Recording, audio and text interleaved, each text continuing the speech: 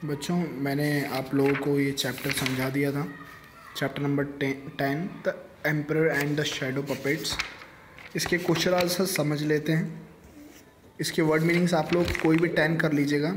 यहाँ से स्टार्ट है वर्ड मीनिंग कोई भी टेन वर्ड मीनिंग्स आप लोग अपनी कॉपी में फेयर कॉपी में लिख सकते हैं। क्वेश्चन नंबर ए में देखिए answer the following questions first वाला है why did the emperor feel lonely after the queen's death जो राजा था उसको अकेलापन क्यों फील होता था जब उसकी रानी ख़त्म हो गई थी? क्योंकि वो उसे, उसकी रानी से बहुत ही ज़्यादा लगाव था, बहुत ही स्नेह था और जब वो ख़त्म हो गई तो उस, उसको ऐसा लगता था कि अब मेरा कोई भी नहीं बचा है। Second what would the emperor see whenever the courtiers and minister went to him for advice emperor हमेशा क्या कहते थे जब राजा, जब मंत्री और सभापति उनके पास जाया करते थे एडवाइस के लिए? तो वो उन कोर्ट्रियर से, उन मिनिस्टर से कहते थे कि अभी मेरा मन नहीं है, आप लोग बाद में आना। थर्ड देखिए what would the emperor watch whenever he sat in his palace garden तो एम्पर क्या देखा करते थे जब वो अपने पैलेस गार्डन में बैठते थे तो वो डक्स को हॉर्सेस को डियर को, इन सारी चीज़ों को देखा करते थे और वहीं पर अपना ज़्यादा सा समय बिताते थे।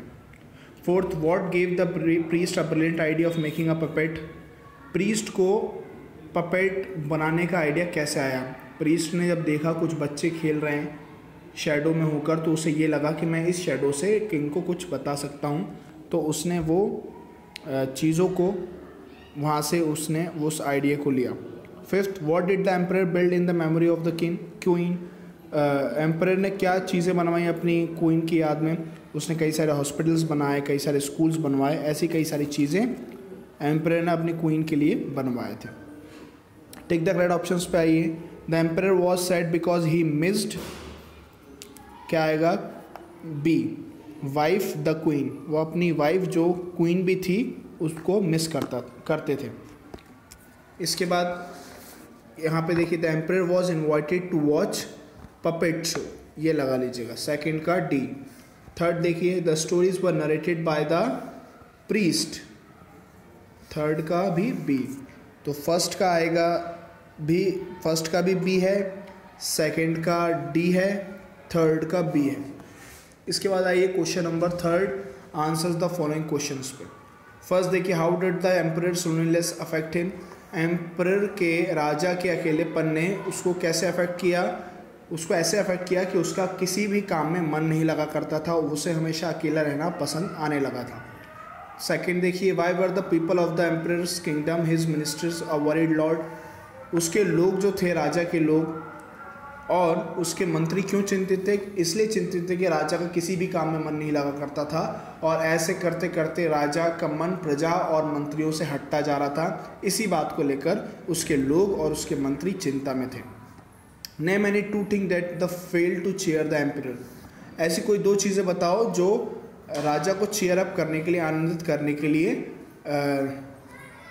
लाई गई थी, लेकिन तब भी राजा खुश नहीं हुआ। तो कई बार सभा में डांस करवाया जाता था, कई सारे डांसर्स को बुलवा के तो वो राजा को पसंद नहीं आया, वो राजा उसको, उससे आनंदित नहीं हुए।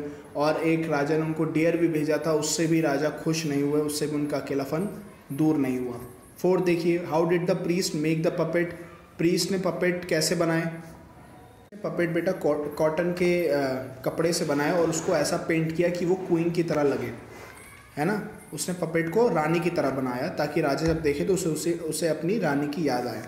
Fifth which story did the priest narrate during the puppet show ऐसी कौन सी स्टोरी थी जो प्रीस्ट ने नरेशन किया था उसका, जब सुनाया था, जब वो पपेट शो कर रहा था? तो प्रीस्ट ने कुछ बीते हुए लम्हों को जो राजा अपनी पत्नी के साथ बिताया करते थे, उन अच्छी अच्छी यादों को उसमें नरेट किया था। Six what was the emperor reaction after the puppet show emperor का रिएक्शन क्या था? राजा का रिएक्शन क्या था? तो राजा का रिएक्शन था कि वो बहुत ही ज़्यादा खुश हुआ था और उसने ये उसने उसकी तारीफ़ भी की, जिसने उसको पपेट शो दिखाया था और उसको ये समझ में आया कि ज़िंदगी में हमेशा दुखी नहीं रहना चाहिए, लेकिन पुरानी चीज़, अच्छी बातों को याद कर कर उस दुख को भुला देना चाहिए। Seventh according to priest what should a person do when faced with sorrows according उस प्रीस्ट के हिसाब से एक व्यक्ति को क्या करना चाहिए जब वो कभी दुख में पड़े? तो दुख में जब पड़े प्रीस्ट कहते हैं कि जब भी कोई व्यक्ति दुख में पड़ता है तो उसे अपने पुराने अच्छे दिनों को याद करना चाहिए, जिससे उसका दुख हल्का हो जाता है। उसने ये चीज़ राजा को भी सिखाई कि राजा दुखी होने की ज़रूरत नहीं है, लेकिन अपने पुराने दिनों को याद करो, उन दिनों को याद करो जिनमें तुम रानी के साथ खुशी से रहा करते थे। और जब राजा ने ऐसा किया तो उनका दुख चला गया और वो सभा में और अपने राज्य पर मन लगाने लग गए। बेटा ये थे question answers question number A मैंने करवा दिया समझा दिया आपको। क्वेश्चन नंबर बी मैंने टिक भी लगवा दिया है। और क्वेश्चन नंबर सी भी मैंने आपको समझा दिया है। इसके जो आंसर्स हैं, वो मैं आपको व्हाट्सएप पे सेंड कर दूँगा। अभी सिर्फ़ मैंने समझाया है। इसके आंसर आप व्हाट्सएप पे से लिख सकते हैं।